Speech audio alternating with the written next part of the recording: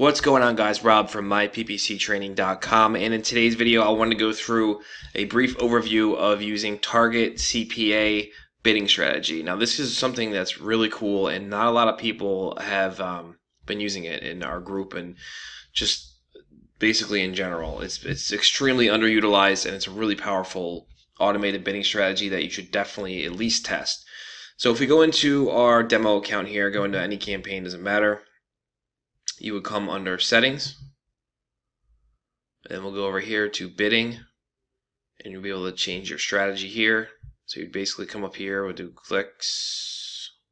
Oh, wait here we go. Ah there we go. Okay so you're gonna come under over here you're gonna go to target CPA now if you don't know what target CPA means it just means target cost per acquisition. So it's your cost per acquisition of a lead. Alright so if you hover over it or if you just go over here it kind of gives you a brief little with Target CPA, Google Ads automatically sets bids. So they're automatically setting the bids. You have no control over what Google's bidding. Okay, something to, important to understand. automatically sets bids to help get as many conversions as possible at the target cost per acquisition. So you're telling Google, all right, so if we're a plumber, let's say we want $25 leads. We're telling Google, do whatever you have to do to get us plumbing leads at $25 a lead. Or around that range. Usually, it's it could be ten percent, ten or twenty percent higher or lower than the t- whatever target CPA you set. Um, obviously, they do their best to try and come in at what you're looking at. So every time I've used this, I've used it mostly in the law in the law niche, and um, we set them for like 40 45 40 dollars something like that and they usually come in around like 48 per lead which is not bad. I mean, it's pretty it's pretty close considering I don't have to worry about bidding at all. I don't really do anything besides turn it on and let Google do all the heavy lifting. All right, so some conversions may cost you more or less. Like I just said, the strategy you select here will be applied to this campaign only. Okay, so that's that's pretty much how target CPA bidding works.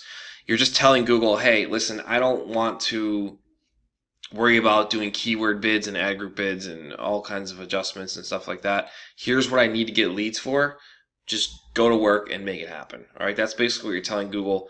Now, something to understand, and I would highly recommend, is that you only use this strategy on a, a campaign that actually has conversion data.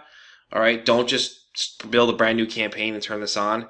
Um, in my in my opinion, uh, which I've seen, it doesn't work that great when you do it that way. It just works best when you already have a campaign that is getting, you know, 15 to 20 leads a month or something like that, and then you turn this on to get more and get them for a more affordable cost. Basically, the more conversion data you have, the better this strategy is going to work out for you. So that's just something to keep in mind when you're um, when you're testing this.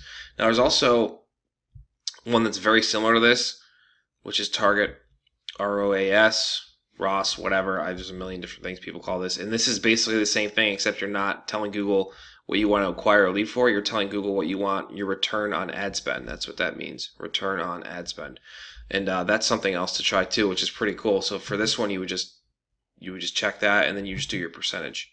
All right, and another thing here gives you more um, how this all works, but I'm not going to touch on this right now. But that's just something they're kind of like sibling related here. Okay, so but target CPA.